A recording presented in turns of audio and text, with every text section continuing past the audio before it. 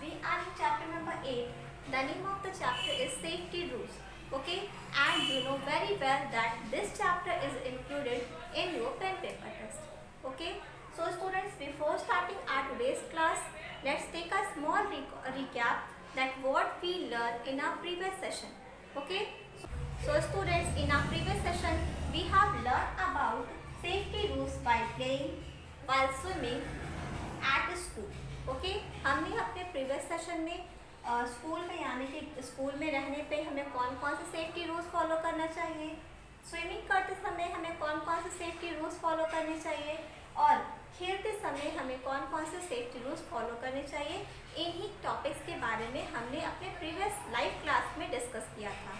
Okay? So today we will learn about first aid आज हम लोग फ़र्स्ट एड के बारे में जानेंगे। Okay? So now let's start students ना what is first aid first aid क्या है?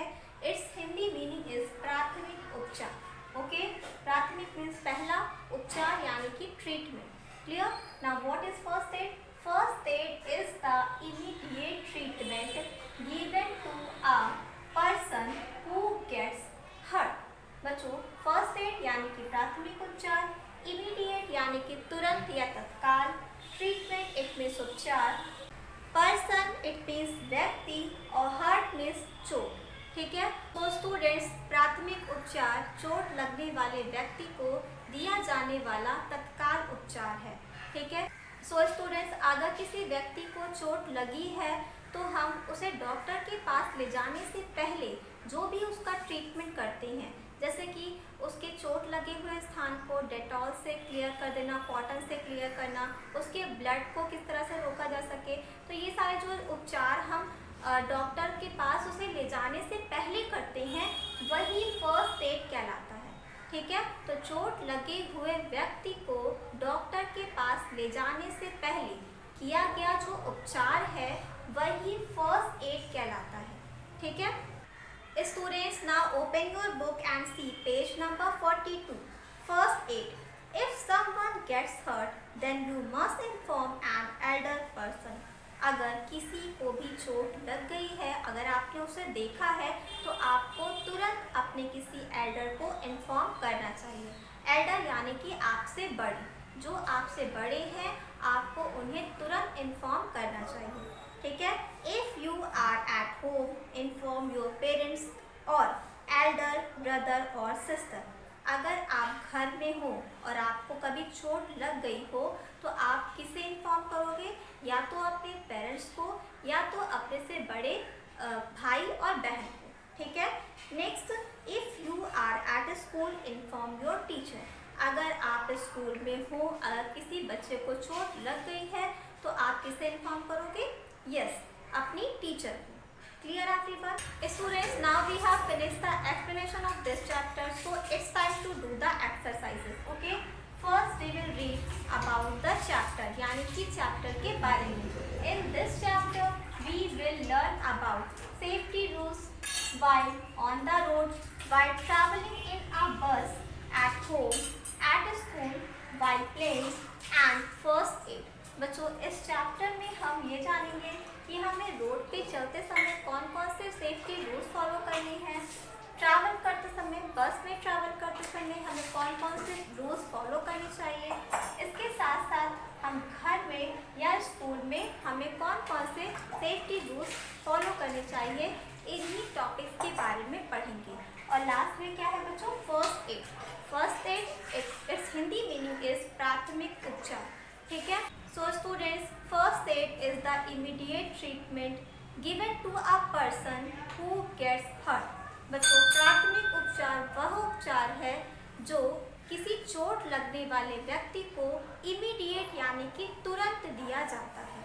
क्लियर जब किसी पर्सन को चोट लग जाए और उसे डॉक्टर के पास ले जाने से पहले हम घर में जो भी ट्रीटमेंट करते हैं, तुरंत उसे ही हम क्या कहते हैं? फ़र्स्ट एड कहते हैं।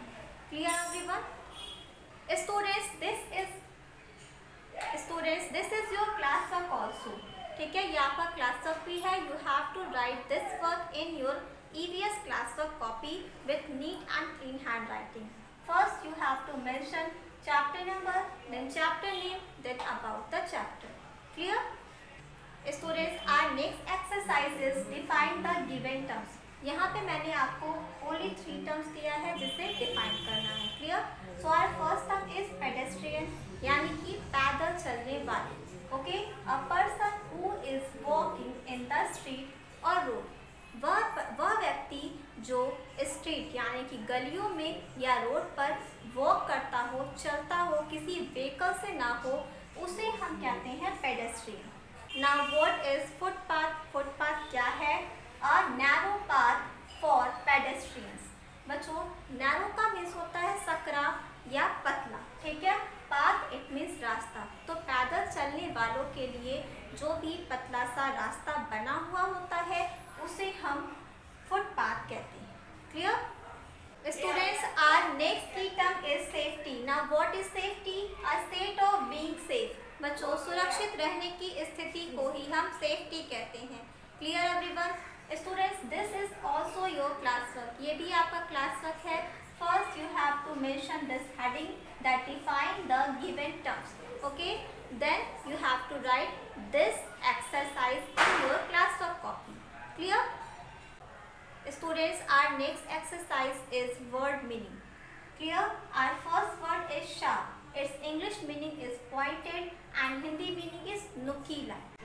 We should not play with sharp object. हमें कभी भी किसी शार्प ऑब्जेक्ट से नहीं खेलना चाहिए, क्योंकि ये हमें हर्ट भी कर सकते हैं। क्लियर नेक्स्ट क्या है? Always it's English meaning is forever and Hindi meaning is सदा we should always walk on the footpath हमें हमेशा फुटपाथ पर ही चलना चाहिए। क्लियर नेक्स्ट क्या है? क्रॉस ना it's English meaning is pass Hindi meaning is पार करना। We should cross the road at zebra crossing हमें हमेशा जेब्रा क्रॉसिंग से ही रोड पार करना चाहिए। क्लियर क्रॉस का मीन्स होता है पार करना। नेक्स्ट है parents it's English meaning is a person's mother and father किसी भी व्यक्ति के फादर और मदर को हम क्या कहते हैं? पेरेंट्स कहते हैं। जिस तरह से स्टूडेंट्स आप पेरेंट्स टीचर मीटिंग में अपने फादर या मदर को लेकर आते हो, आपसे कहा जाता है कि आप अपने पेरेंट्स को लेकर आइएगा। पेरेंट्स इट मीन्स आपके माता पिता your father and mother are called parents आपके फादर और मदर जो हैं, वही आपके पेरेंट्स हैं okay its Hindi meaning is अभिभावक। Clear everyone students this is also your class work you have to write this work in your class work students, that's all for today. Now it's time to do the homework. Your homework is learn and write these hard words two times in homework register. Students मैंने आपको जो भी hard work दिया है, उसकी spelling आपको अच्छे से लर्न करना है और अपने होमवर्क रजिस्टर में टू टाइम्स राइट करना है. Clear your first word is pedestrian second word is zebra crossing third word is running next is wake electric, nice and accident. These are hard words and you have to write these hard words in your homework register two times. Clear? That's all for today. Thank you.